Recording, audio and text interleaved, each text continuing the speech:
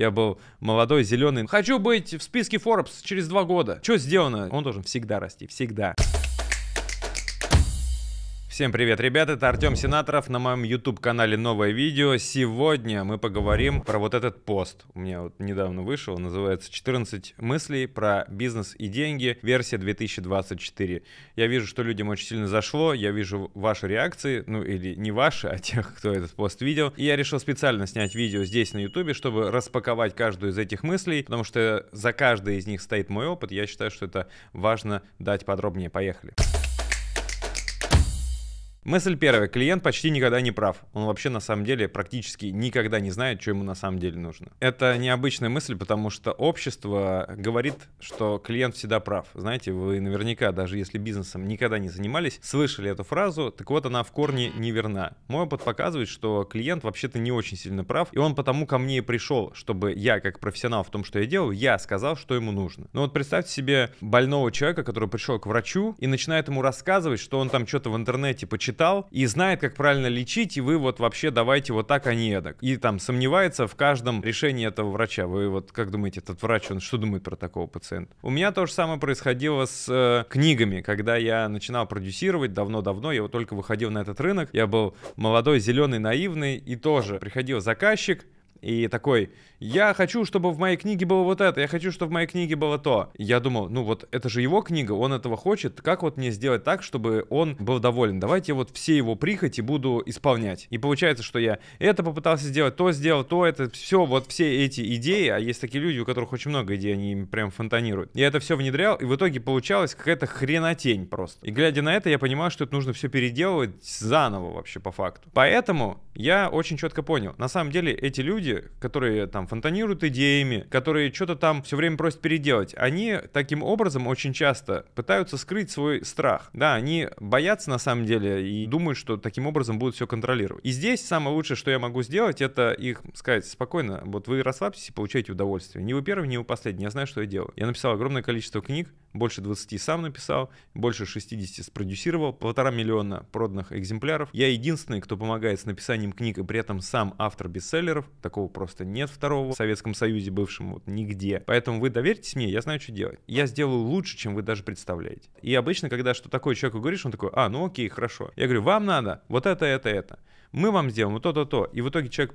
когда вот получает финальную работу, всегда говорит одно и то же. Слушайте, спасибо, что вы меня провели, спасибо, что вы это сделали. Класс, я бы никогда сам до этого не додумался. Вот, поэтому клиент изначально не прав, он не знает, что ему нужно. Мысль вторая, самый быстрый способ зарабатывать больше, это делать работу быстрее. Мы постоянно видим, что разные ниши заняты, что везде большая конкуренция. Особенно если вы делаете что-то в соцсетях, вы можете посмотреть, какое количество экспертов предлагает свои услуги, и выглядит так, как будто эти люди предлагают примерно одно и то же. Я знаю, что совершенно точно я могу зайти в любую нишу и в этой любой нише сделать быстрее и тем самым забрать на себя часть клиентов. Потому что люди всегда готовы платить за работу, которая выполняется быстрее. Время очень ценно. Время – деньги. На самом деле время даже ценнее, чем деньги. Поэтому, когда вы его экономите для ваших клиентов, это всегда очень-очень ценно. Ну, к примеру, если бы я был SMM-менеджером, если бы я был человеком, который отвечает за контент, я бы сделал следующую простую воронку. Вот э, я делаю вам бесплатно аудит аккаунта, ну то есть не просто консультация, а аудит аккаунта, сделаем разбор вашего аккаунта в инсте. На выходе вы получаете документ, какие шаги нужно делать дальше. И этот документ вы получаете, не знаю, там через час после консультации. Я просто сразу сажусь, все описываю подробно, что нужно делать, вы это получаете. Это для вас бесплатно. Если вы хотите, чтобы моя была помощь при этом, то есть я, чтобы вам помогал, я готов это сделать, и мы вам за один съемочный день сделаем контент на месяц вперед. То есть с вас вот один день, и на месяц потом можете про это забыть. Я бы сделал что-нибудь такое. Обратите, кстати, внимание, что здесь есть еще один момент. Он заключается в том, что я готов бесплатно дать вот эту программу продвижения. Ну, не сейчас я готов бесплатно, а если бы я начинал с нуля, и вот мне нужны были бы клиенты, просто вот у меня никто не покупает, да, нужно, чтобы кто-то купил. Я бы делал вот этот документ бесплатно. Тем самым я бы разрывал шаблоны. Большинство людей считает, что бесплатно не надо ничего давать. В лучшем случае языком почитать почесать. А когда ты получаешь вкусную PDF-ку, где написано по шагам, что делать. Спойлер, эта PDF-ка для большинства будет практически одинакова, потому что шаги везде плюс-минус те же самые. Просто я бы их немножко актуализировал, чтобы под конкретную нишу, под конкретного человека это было. И вот человек записался на бесплатную консультацию. Я провел ее классно, я сделал этот разбор. Я потом присылаю файл именной, вот для вас, Виктор Павлович, да, там, держите, получите. Человек получает документы, вместе с ним предложение, хотите, я вас буду вести, хотите, я вам это буду делать. И вот, вот сейчас вот за такую-то сумму можно начать, вот там такой-то будет бонус, и все. Я моментально это все сразу делаю. То есть я делаю много всего бесплатно, человек получает ценность. И да, естественно, не все будут покупать, но вероятность, что после такого обращения с клиентом человек сделает покупку, она сильно выше. Поэтому я вот так делаю, и потом, когда человек начинает со мной работать, я быстро отрабатываю, моментально отрабатываю все. Вот он сегодня начал, завтра уже контент у него идет в инсте. Вот сегодня ты оплачиваешь, и сегодня же вечером даже, не, не надо завтра ждать. Я сразу скажу, что выдать в сторис, сразу пришлю какой-нибудь шаблон, сразу там идею для Reels, и вот с ними и пришли мне, я смонтирую. Это будет моментально. Никто так не делает, все ленивые жопы, все ленивые жопы. Поэтому если вы начнете так делать, вы тут же оказываетесь впереди большинства рынка. Номер третий, один из моих любимых, контакты ведут контрактом. Если вас никто не знает, то вас никто не купит. Идея очень простая. Когда у вас очень много аудитории, вот реально там десятки, а лучше сотни тысяч людей в вашем аккаунте, я уж молчу про миллионы, то вам совершенно можно не париться по продажам, потому что с деньгами у вас проблем не будет с этого момента. Вы можете хреново продавать, можете вообще не продавать. Все равно будут люди, которые захотят купить. Все равно, если у вас нет аудитории, если знать вас никто не знает, вам придется как эквилибристу, то есть очень прям выкручиваться, не знаю, там, быть фокусником, жонглером, чтобы на вас обратили внимание, с большим трудом продавать, потому что каждый клиент, который обратил на вас внимание потенциальный, да, он очень важен. Вот он сейчас уйдет, никто не купит, и что мы будем делать, да, поэтому нужно очень много усилий прикладывать к тому, чтобы каждый, кто пришел, сразу бы покупал. А если у вас очередь из клиентов, если вам их девать некуда, если у вас желающих купить вашу работу, больше, чем вы можете продать. Вот представьте себе такую ситуацию. Вы тогда очень легко. Человеку что-то не нравится, никаких проблем, до свидания. Человек начинает торговаться, не хочет вашу цену давать, никаких проблем, до свидания. Вам что-то в нем не нравится, чисто по-человечески, не знаю, нагрубил он вам или что-то, никаких проблем, до свидания. Там еще очередь, все равно кто-нибудь купит. Ты теперь хозяин положения, ты можешь выбирать. Единственная разница, на самом деле, здесь в том, что как много людей знает, что вы существуете. Вы вот себе такой вопрос задавали когда-нибудь? Как много людей знает, что вы как эксперт, как вот человек, который разбирается в конкретной нише, что вы вот есть вообще. Если вы будете думать, а как мне сделать так, чтобы как можно больше людей узнало, тогда это будет правильный ход. Правильный ход в нужную сторону. Четвертая мысль вытекает из третьей и является, по сути, ее продолжением. Она звучит так. Самый правильный вопрос, который вы себе можете задать перед сном, такой. Как много людей сегодня узнало о том, что я существую? Вот смотрите, это важно пояснить. Вы даже если сегодня конкретно заработали денег, это хорошо, но эти деньги сегодня, которые вы получили, они могли быть сделаны за счет действий раньше. То есть вы могли подготовить это и сейчас получить результат. Там вот посеяли, а здесь вот начинаете уже собирать плоды. Но по факту метрика, как много людей сегодня обо мне узнало, она всегда в сегодняшнем дне. То есть вот сегодня вас сколько людей узнало? Ноль. То есть вы, например, Reels не выложили, нигде не выступили, на подкаст никому не сходили, рекламу никакую не дали, ничего вы не сделали. Ноль людей вас сегодня узнало. Окей, завтра сколько? Тоже ноль. И послезавтра ноль. И когда вот вы себе отвечаете на этот вопрос честно каждый день, и сегодня ноль, и завтра ноль, и послезавтра, вот каждый день ноль, ноль, ноль, ноль, никто не узнал, ничего я не делаю для того, чтобы обо мне новые люди узнали. У вас начинает в мозгу появляться вот эта вот правильная мысль, а типа это точно правильное направление, в котором я иду, это точно вот то развитие бизнеса, о котором я мечтал? Нет, точно нет. А если вы сегодня, допустим, Reels выложили, вот каждый день выкладываете Reels, у вас хоть чуть-чуть, но начнут появляться не подписчики среди зрителей. Отлично, хорошо, пусть они пока будут не подписчиками, пусть они еще ничего не купили, ничего страшного, зато вы для них уже не чужой. Именно поэтому мы всегда снимаем Reels с лицом, чтобы люди видели вас, чтобы люди слышали вас. Не надо показывать руки, не надо показывать какие-то мудовые ролики с Закатами, рассветами, где вас нет в этих роликах. Вы там должны быть, вы должны примелькаться, тогда вас начнут узнавать. Узнаваемость — это про то, чтобы узнавать, окей? Как много людей сегодня узнал, что вы есть. Номер пять. Рост дохода почти всегда начинается с того, что ты признаешься себе в том, что ты не крутой. Большинство людей не может зарабатывать больше по одной единственной причине, что они считают себя супер крутыми, и поэтому им учиться у других западло. Они даже не могут сами себе в этом признаться. Это просто некая фоновая мысль где-то в подсознании, корона на голове еще это называется, которая говорит, что что ты вообще самый крутой, и тебе стремиться некуда, а на самом деле этот крутой, на него посмотреть, он крутой только в своем дворе. Вот он там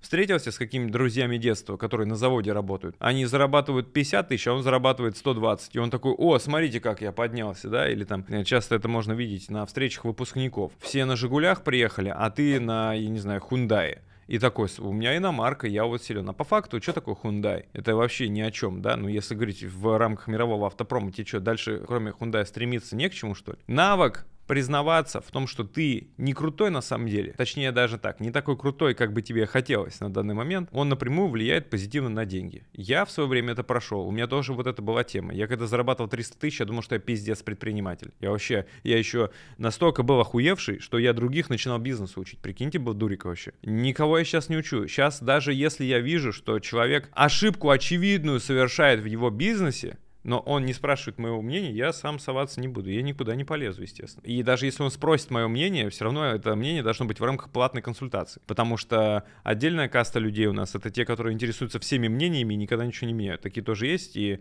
пожалуйста, без меня. Кто я такой, чтобы соваться в твой бизнес? Кто я такой, чтобы мешать тебе пройти твой кармический путь? Ты должен получить какой-то урок. Зачем я буду сюда вмешиваться? Пожалуйста, ошибайся на здоровье, делай выводы, развивай свой бизнес. У тебя свой путь, у меня свой путь. Поэтому я не лезу. Я не считаю себя великим гуру, который способен нести свет в этот мир. Упаси бог. Наоборот, я всегда ищу людей, которые круче меня в чем-то. Этот круче в одном вопросе разобрался, этот круче в другом. Я тут же снимаю шляпу, отдаю должное, говорю, ты крутой, ты крутая. Естественно, это не всегда сделать просто. Потому что, ну смотрите, мне вот 38 лет. Я мужик средних лет. А тут появляется какая-нибудь девочка, которая там, не знаю, 20 с чем-нибудь. И она зарабатывает больше тебя, и у нее охваты больше, чем у тебя, и она делает вообще все по-другому. И ты думаешь, блядь, ну как так?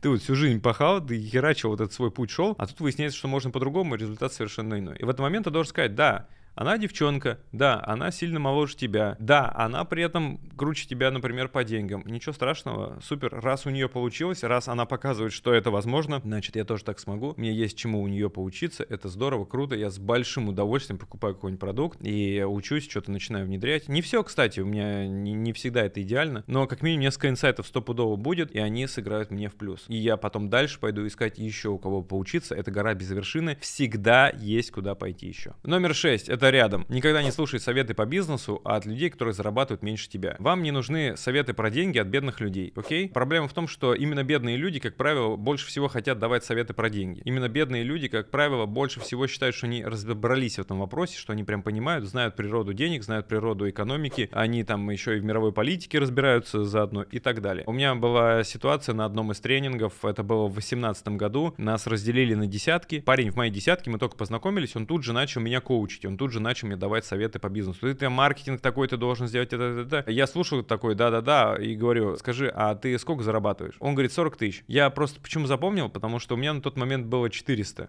То есть ровно в 10 раз больше, чем у него. 400 тысяч я зарабатывал тогда. И я говорю, сколько ты зарабатываешь? Он такой, 40 тысяч. Я говорю, все, заткнулся нахуй. Заткнулся нахуй со своими советами. Ты мне, блядь, больше нихуя не говори по бизнесу. Пожалуйста. Вот твои советы стоят 40 тысяч. Это я бы тебе мог дать совет. Вот. Нихуя я от тебя забирать не собираюсь собираюсь, потому что ты разбираешься в бизнесе на 40 тысяч рублей. Деньги в этом смысле объективны. Они объективны. Ну, если ты честно ведешь бизнес, да, если ты там не воруешь где-то, а ты вот по-честному в белую ведешь бизнес, то деньги всегда объективны. Если ты зарабатываешь 40 тысяч в месяц, значит ценность твоего бизнеса в мире, вот во всем мире, на 40 тысяч рублей в месяц. Окей, это копейки, это вообще ни о чем. То есть ты просто no-name, ты человек, который первые шаги делает в бизнесе. Нахуй я не собираюсь никаких советов от тебя слушать. Номер 7, об этом я уже частично сказал, сейчас чуть подробнее распакую. Звучит так. Никогда не помогай по бизнесу без запроса. А запрос без оплаты таковым не считается. В свое время я сказал Андрей Парабелом, царство ему небесное, я запомнил эту фразу, что запрос без оплаты — это не запрос. Вы можете видеть, как люди проявляют искренний интерес, как они прям офигеть, как готовы работать. Я помню,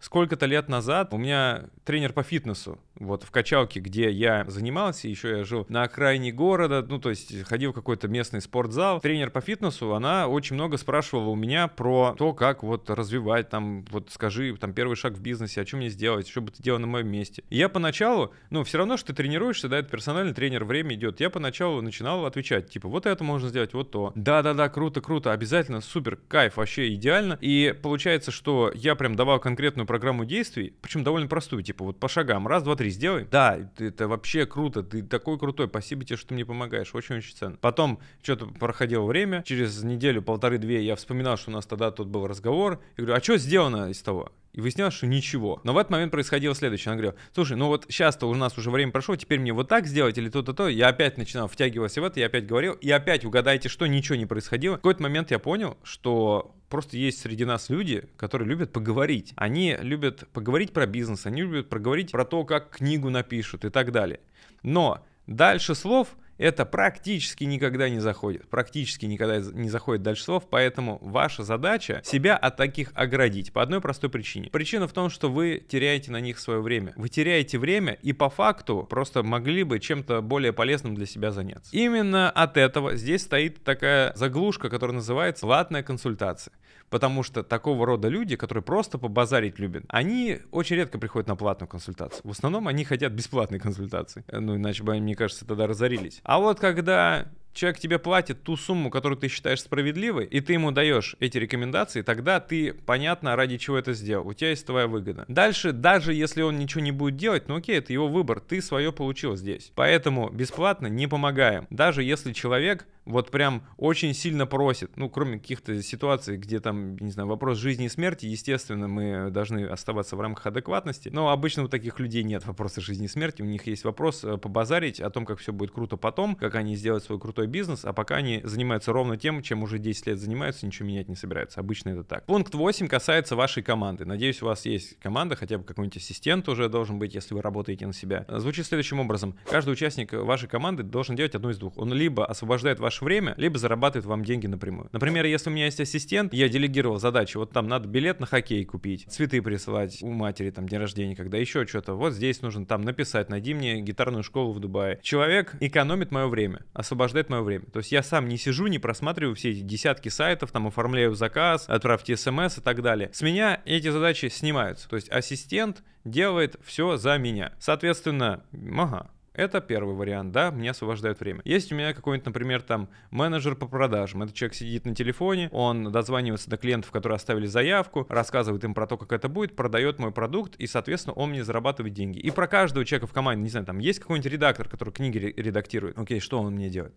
Он мне освобождает время. Потому что если бы не было редактора, ну, наверное, тогда я, взяв заказ на книгу, сам бы должен был сидеть редактировать. Сам бы я не успел, да, ну, соответственно, вот. Мне нужен кто-то, кто мне помогает, освобождает мое время. Это редактор, отлично. Как как только я понимаю, что я про какого-то человека в команде не могу сказать ни то, ни другое, я тут же от него освобождаюсь. Вам такие люди не нужны, которые ни время ваше освобождают, ни денег вам не зарабатывают. Это плохо, этих людей в команде быть не должно. Номер девять это про продукт. То, что ты хочешь продать и то, что люди хотят купить, практически всегда это не одно и то же. Мы загоняем себя в рамках своей ниши в какой-то уникальный продукт, в какой-то супер там пупер навороченный. Мы знаем изнутри то, чем мы занимаемся, мы понимаем, насколько это людям ценно, мы считаем, что мы вообще несем ценность этому миру, и поэтому, когда люди смотрят на наш продукт, такие, не, не, нам не надо. Мы что делаем? В первую очередь, вот первая реакция, очень часто я это вижу, особенно у новичков, это обижаться на людей. Ну, то есть, ты не купил мой продукт, это только потому, что ты тупой, ты дурак, ты вот не можешь понять, насколько твоя жизнь улучшится, ну и сиди тогда в говне, не собирайся я с тобой работать. То есть, мы обижаемся на людей, а по факту, если человек не покупает ваш продукт, то на самом деле всегда, это практически всегда одна единственная причина, не увидел в этом ценности. То есть он не покупает, потому что не понял, а зачем ему это надо. Вот, за такие деньги вот это получать. И очень часто люди не то, что не поняли, зачем им конкретно вот это надо, а они вообще ничего не поняли. Такой продукт, а что там будет? Вот у меня консультация, вот у меня тренинг. Ну и что? Этих консультаций, тренингов полно. Результат какой? Какое видимое изменение? Как конкретно улучшится жизнь после покупки этого продукта? Это уже наводящие вопросы, которые нужно себе задавать перед продажей, потому что на людей обижаться не надо. Я видел, как у меня одни и те же люди воротили нос от одного продукта, просто разговаривать со мной не хотели, а потом в очереди стояли за другой продукт. Те же самые люди. Готовы были заплатить намного больше, чем я тогда изначально требовал за первый продукт. Почему? Потому что в первом продукте они не видели ценности. Я тогда не умел об этом рассказывать правильно, грамотно, не умел подать это таким образом, чтобы людей заинтересовать. То есть полностью вот эту вот всю распаковку сделать, раскрыть ценность своего продукта. Я это не умел делать, я это научился, и потом эти же люди на другой продукт приходили, стояли в очереди, платили полную цену без скидок. Вот так это работает, потому что мы себя должны ставить на место людей. Не то, что мы хотим продать, а чтобы они хотели купить. Это не одно и то же, еще раз. Номер 10, и этот номер, он вызвал некие споры у меня в комментариях, поэтому давайте тоже про него расскажу чуть поподробнее. Звучит так. Между реинвестированием денег в бизнес и выводом прибыли на себя сначала всегда выбирай второе. Ты стал предпринимателем, чтобы быть богатым. Вот и не скромничай, забирай прибыль на себя. Часто считается, что правильное поведение — это когда человек денег не тратит. У нас знаете, каких предпринимателей любят? Которые ходят в копеечной одежде, никогда на себя не тратят, машину не купят, летает экономом. Нахер тогда бизнес вообще делать? Зачем делать бизнес? Это лицемерие чистой воды. Люди делают бизнес, я вам скажу для чего. Для того, чтобы стать богатыми. И потом выясняется, что на самом-то деле эти люди, которые ходят в копеечных майках, типа на рынке купленных, они могут на самом деле жить в особняке каком-нибудь огромном, но при этом они просто об этом не рассказывают у себя в сторис. И как бы и люди думают, что это человек такой святой. Это у нас есть в России, в бывшем Советском Союзе такая тема. Любят люди прибедняться. То есть рассказывают, что дела на самом деле хуже, чем есть. Вот есть у нас такая тема. В бизнесе то же самое. По факту, если вот честно себе признаться, то мы бизнес делаем для того, чтобы стать богатыми. И это очень глупо, когда твой бизнес стал генерировать деньги, и ты можешь выйти на новый уровень жизни, и ты такой, нет, не буду я эти деньги забирать, ну-ка давайте-ка я вложу в развитие бизнеса. Ну да, и бизнес может стать еще больше, а потом ты вложи в бизнес еще раз, чтобы он еще больше стал. Это никогда не закончится. Это всегда будет продолжаться. Факт в том, что ты должен сказать, я в бизнесе сейчас оставлю ровно столько, чтобы он не сдох. Ровно столько, чтобы он как-то вот продолжал потихоньку идти вперед. Да, вот не, не надо становиться долларовым миллиардером на следующий год, пусть он растет своими темпами, но вот излишек, вот то, что сверху, чистая прибыль, это я беру на себя. И куплю я себе одежду не на рынке, а в нормальном магазине. На рынке я и так всю жизнь покупал. И так всю жизнь я покупал на рынке. И так всю жизнь я питался исключительно вот в ресторанных двориках, где ты берешь бизнес-ланч, который самый дешевый, знаете, потому что он набор одно и то же всем дают. Я хочу в нормальный кафе ходить. Я хочу в нормальные курорты какие-то летать, а не в самые только дешевые. Я хочу этого, я себе в этом признался, и бизнес это мой инструмент того, как я могу этого добиться. Это моя честная позиция. Прибедняться я не собираюсь собираюсь. Соответственно, когда мой бизнес генерирует деньги, я их вывожу на себя. И трачу. Это тоже, кстати, тема. Вывести и сидеть на них. Нет, уж давайте как бы потратим. Мы не знаем, сколько нам дней отпущено в этой жизни, и пусть эти дни будут яркими, если у нас есть такая возможность. Номер 11. Лидерство. Что это такое? Это на самом деле сочетание двух элементов. Как можно измерить лидерство? Можно. Первое — это стрессоустойчивость. Чем больше вы стрессоустойчивы, тем больше денег вы можете заработать. Люди, которые работают на рядовых позициях в каких-то компаниях, они, как правило, трясутся от того, что на них начальник неправильно посмотрел. Знаете, это бывает такое, что вот с кем-то повздорил, на работе, а потом полночи думаешь, как надо было бы ему ответить. Это вот низкая стрессоустойчивость, потому что высокая стрессоустойчивость — это когда ты с кем-то повздорил, и тебе насрать, ты просто дальше пошел, другими делами занимаешься. Обратите внимание на, например, SEO, то есть генеральных директоров крупных международных корпораций. SEO Google, он одним росчерком пера вообще одним приказом может уволить 35 тысяч человек. То есть это люди, у которых свои семьи, о них надо заботиться. Они работали в Гугле, они там получали много, теперь их увольняют. Свободный, это бизнес, мы здесь зарабатываем деньги. Теперь вы не нужны, теперь у нас другая стратегия, нам нужно сократить. Свободны. Все. Думаете, этот генеральный директор сна лишился или выбросился из окна от того, что такое количество людей на улице осталось? Нет, ему вообще плевать. Потому что у него высокая стрессоустойчивость, и он поэтому директор. Поэтому он зарабатывает миллионы, если не десятки миллионов. Вон, недавно пришла информация, что за 23 год Тим Кук на себя заработал, то есть это не считая его опционов и долей, он на себя заработал в виде зарплаты 63 миллиона долларов. Вот 63 миллиона долларов, это в принципе можно вообще всю жизнь не работать. Но там не работает такая тема, то есть они работают не для того, чтобы денег зарабатывать и потом уйти на пенсию и работать 4 часа в неделю, как в книжках пишется. Нет, они реально кайфуют, они фанат своего дела, они трудоголики там уже на таком уровне. И вот представьте себе уровень стресса, с которым приходится разбираться Тиму Куку. Я читал про него книгу. Я, кстати, даже придумал название для его книги. Она как-то не очень интересно называется. Я подумал, что его книга должна была называться «Заменить незаменимого». Потому что когда Стив Джобс умер, все говорили, что Apple вот сейчас вот-вот загнется, потому что без Стива это уже не торт и так далее. Однако Тим Кук очень долго уже работает без Стива. Компания развивается, запускает новые продукты, они там сделали часы, они сделали AirPods, они сделали новые линейки там всех своих продуктов, у них очень круто идут дела. И в этой книге было написано, что однажды ему предъявили за то, что у него в кругу вице-президентов, то есть среди его замов, что-то типа очень мало женщин, и поэтому, наверное, он жена-ненавистник. Представляете? Тим Кук, который открытый гей вообще сам, если что-то пошло на то. И он там с этим разбирался, и он реально там выдавал какую-то доказательную базу, что те люди, которые сейчас занимают посты вице-президентов, лучше всех подходят на эти позиции, потому что они больше всего там дают как бы качество своей работы и так далее. Реально вот ему этим приходилось заниматься. Представьте себе. Это только то, что в книге написано, а сколько чего мы там не видим. Поэтому стрессоустойчивость — это то, что влияет на вашу способность зарабатывать. Чем больше стресса можете выдержать, тем больше у вас будет денег. Но это не единственное, что нужно. Лидерство определяется еще и второй темой. Вторая тема называется амбиции. Как много вы хотите получить. Люди с низкими амбициями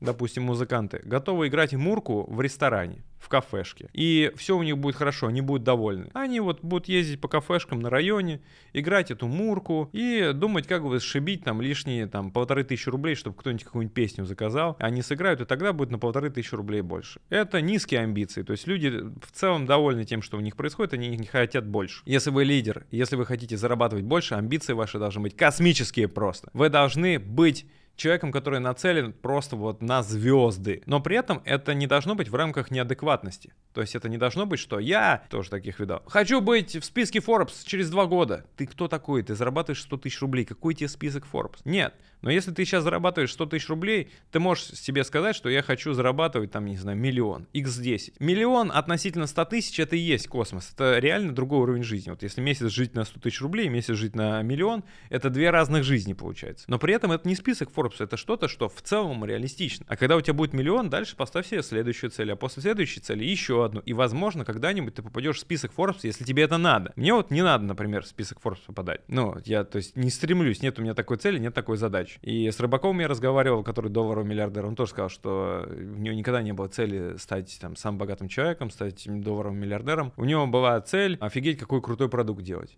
Вот. И его продукт просто очень хорошо покупали, ну вот техно Николь, да, и, соответственно, таким образом он сделал себе капитал. В нашем случае есть наш продукт, который тоже пусть хорошо покупают. Но амбиции у нас должны быть всегда на рост. Как только вы скажете, мне достаточно денег, я больше не хочу, я хочу остаться на этом уровне, это будет начало конца. С этого дня ваш бизнес начнет падать. Он должен всегда расти, всегда. Номер 12. Иногда лошадь помирает. Мы привыкли заниматься той нишей, которой привыкли заниматься. Многие из вас годами делают то, что делают. Но очень высокая вероятность, что вы не всю жизнь будете делать то, что делаете сейчас. Поэтому нужно определить тот момент, когда это делать уже неэффективно. Вам нужно делать что-то, что эффективно. Если вы поняли, что ваша ниша отжила, умерла, вдруг перестала быть востребованной, вам без какого-то зазрения совести тут же нужно на нее забить и начать заниматься чем-то новым. Да, это что-то новое, оно должно быть с учетом вашего прошлого опыта. То есть не нужно прыгать в совершенно новую какую-то тему, которая вообще никоим образом не касается и, по сути, начинает с нуля. Иногда и это нормально, но идеальный вариант это когда вы в новой нише используете опыт своей старой ниши. К примеру,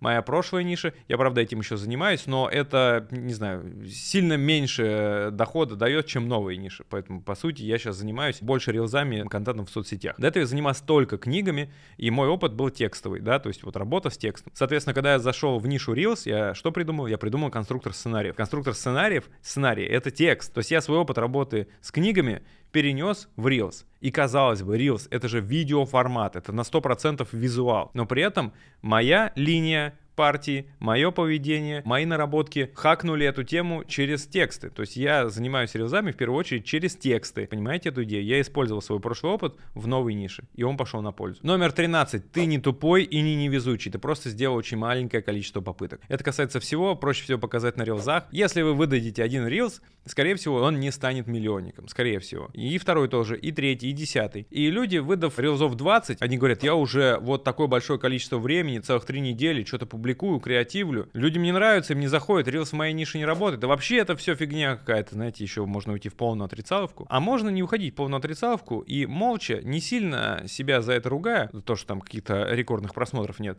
продолжать выдавать, продолжать, продолжать выдавать. Я когда начал публикации Reels 2 апреля 2022 года на ежедневной основе, у меня первый экспертный ролик «Миллионник» появился в сентябре. Вот представьте, я с начала апреля по сентябрь выкладывал ролики. Причем, знаете, роликом стал миллионником видос, который я выдал в августе. То есть ролик вышел в августе, он был с абсолютно обычными просмотрами, ничего особенного. Ну да, там как-то он активность какую-то набрал. А потом он начал расти через месяц, став миллионником. Я офигел. То есть, типа, оказывается, может быть добор просмотров. У тебя может какой-то старый ролик, на который ты вообще не рассчитывал, выдать новые просмотры. Офигенно. И получается, что с апреля по сентябрь, посчитайте, сколько это месяцев ежедневного постинга мне понадобилось, чтобы дойти до первого релза миллионника. Вот так это было. Месяцы ежедневных публикаций. Ничего страшного. Это все мои попытки. Ты не тупой и не невезучий, ты просто мало пытался. Я пытаюсь много, вы давайте тоже. Ну и, наконец, финальная четырнадцатая мысль, она в том, что хотеть много зарабатывать — это правильно и хорошо. Я живу в такой картине мира. Мы в 21 веке, у нас есть интернет, у нас есть соцсети, у нас есть искусственный интеллект, огромное количество инструментов для того, чтобы поднять жопу и начать зарабатывать. Идеально. Я хвалю небеса за то, что нам повезло жить вообще в эти времена. Спасибо большое этой вселенной,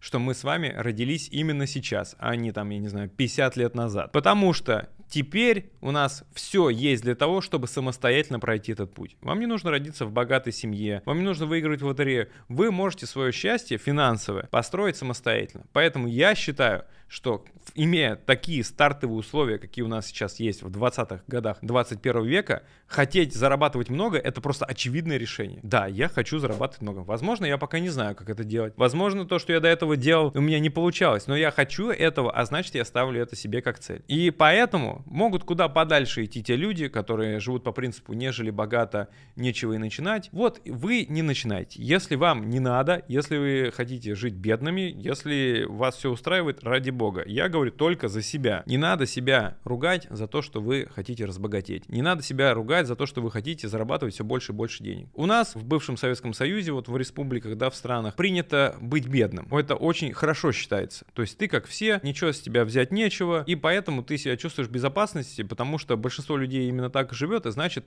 ты вот должен жить так же. Но я вам предлагаю подумать, а на самом деле ли вы хотите вот такой жизни? Я сам из бедной семьи, у меня родители жили небогато. Мать вообще вообще не работала, она со мной сидела, когда я в школу пошел, а отец работал на заводе. Вот представьте себе наш уровень жизни. Семья из трех человек, один работает на заводе. Работяга. То есть он на заводе не директор. Он, э, знаете, что делал? Приезжали цистерны, он туда наливал битум, мазут, вот эти вот нефтепродукты какие-то там, туда вот такую штуку ставил, и оператор слива налива что-то там. Вот его должность называлась. Батя на заводе вот у меня работал на такой позиции. И вот мы жили. Так что видал я эту жизнь. Меня отправляли в магазин овощей, я покупал пол кочана капусты. Капуста самый дешевый овощ. Нам хватало наполовину, потому что мать там из него какой-то суп делала. Поэтому нет ничего в этом хорошего. Гордиться бедной жизнью незачем. Ну, то есть э, это никакое не достижение, что ты живешь бедно. Наоборот, если ты умудрился выбраться из бедности, помогать своим родственникам, каким-то образом обеспечить э, своих детей, чтобы они хотя бы сразу имели нормальные стартовые условия, не то, как у тебя было, так это правильно, разве это неплохо? Я считаю, что это то, что должно быть.